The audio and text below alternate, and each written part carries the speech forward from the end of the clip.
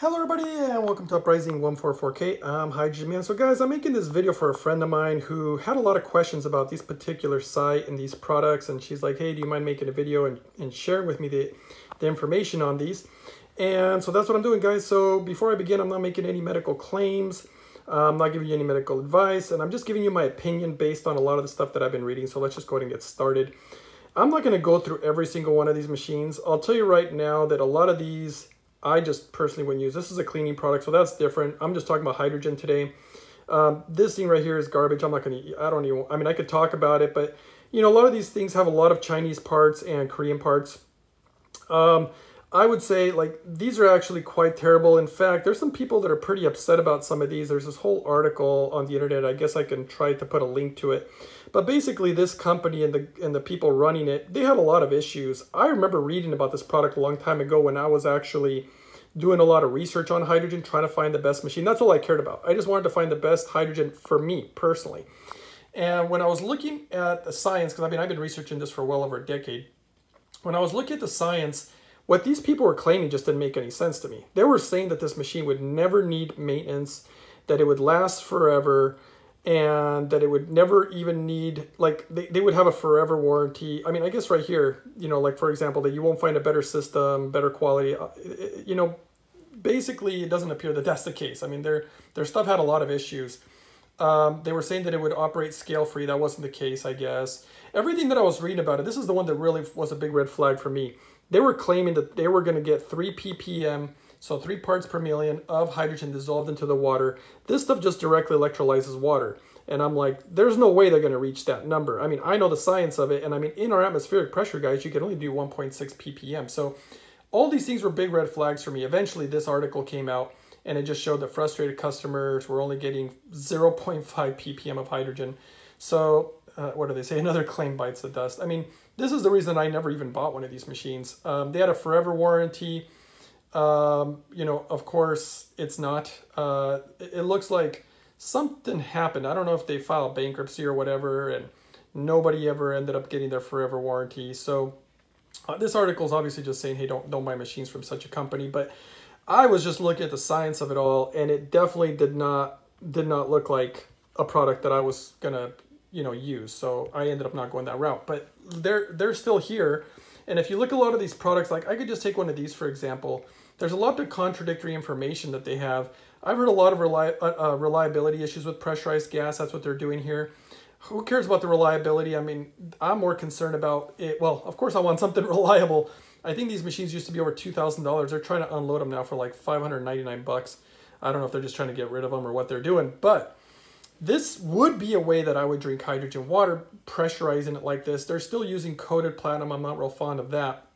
But, and it doesn't offer the nanotechnology that I would want with the whole nano bubbles. I wouldn't use personally, I mean, this is not what I would go out and purchase myself, but I'm just saying the way that it makes hydrogen water appears, in my opinion, to look safe. Um, but it's just not the system that I would choose. I mean, they're claiming here, I like that it doesn't change the pH. That's actually a good thing. You don't want uh, to ionize the water directly and be changing your pH. Um, they say 0.8 to 1.2 ppm. I saw a different number somewhere else on their website, so they kind of contradict themselves, but these numbers sound right for such a device. Um, those numbers are okay. Um, you know, if I can get full saturation with nanobubbles, that's what I would like to do. I mean, the Japanese had a company that made the water like this, but they're not number one. The number one in the world is, well, you guys probably will know by seeing my videos. This is the one that I use uh, because it does the best nanotechnology, they actually have a new model. I don't know if they put it here. Yeah, there it is, 21. Because I just saw that they, they've been selling the 21 for a little while, but they finally started advertising it. I just bought mine about a week ago, and they've improved upon their metal technology. They have a patented technology that nobody in the world has. This is the best in the world, and it offers the gas inhalation, the nano bubbles, uh, doesn't change the pH. I mean, this is the best there is. People in Japan know that, but in America they don't. So they see a lot of these other products and they just they just don't know.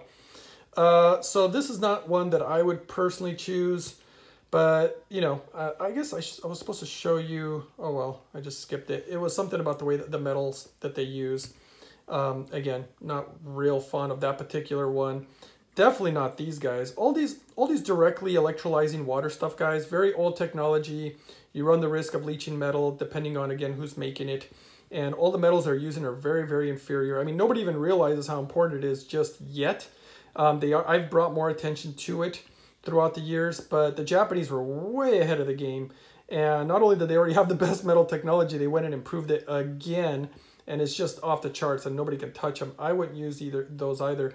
These little portable ones, lots of problem with these. Directly electrolyzing the water, obviously inferior metal technology, most likely based on science. It's going to leach the metal. The metals will degrade. A uh, lot of issues with reliability, as you saw from well from these guys. They you know they're they're because they they call it fraud. I mean I don't know if it's fraud. Uh, I mean I guess they did make some claims that are un you know that you probably shouldn't have with the equipment that they had.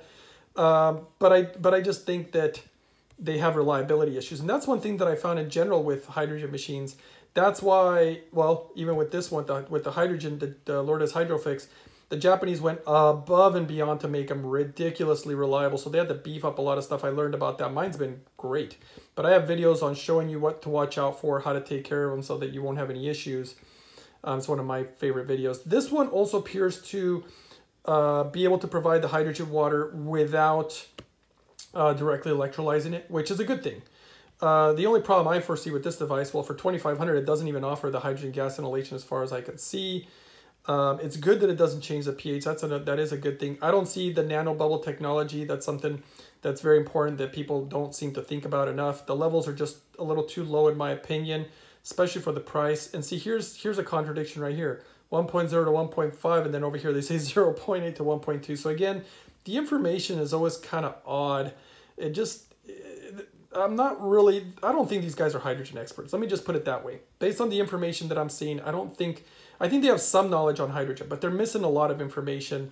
And I understand America's, you know, really far behind. There's a lot to learn. The Japanese are on the forefront of all, this, all of this stuff, and their information is, is actually accurate. And that's what I've seen. I've contacted so many hydrogen companies and there's just so much that they don't seem to actually know. And that was one of my, you know, quote unquote issues when I was doing a lot of my research. Um, it's nice that they talk briefly about the, the metal here. I mean, let's see, here's it. See, platinum coated. I don't like stuff that is coated in platinum. That's basically the inferior technology, and, and that's what a lot of people use uh, because a lot of the stuff, again, is either Chinese or Korean. And that's the kind of technology they use, and that's just not I, I want the best there is. So that's definitely not what I would. I, that's just not what I would use in my opinion. If you want the best and if you want to get the best results from hydrogen. So I kind of hope that this answered everybody's questions and uh, specifically my friend who really wanted to see this video, let me know, you know, you can email me later and let me know if this is the information you wanted me to supply with you, uh, to you guys. Um, and that's it guys. So thanks for supporting the channel. Uh, thanks for giving the video a, a thumbs up. And thanks for subscribing and sharing. And that's it, guys. So I'll see you guys next time on the next one.